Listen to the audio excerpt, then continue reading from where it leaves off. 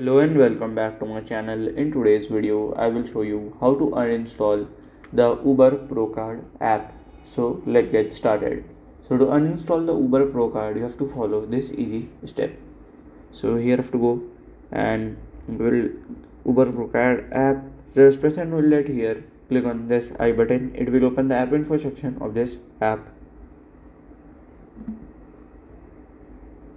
Just do it last click on here at uninstall option as you can see. So here is device is asking do you want to really uninstall this app? If you want to really then click on uninstall and it will automatically get uninstall by here.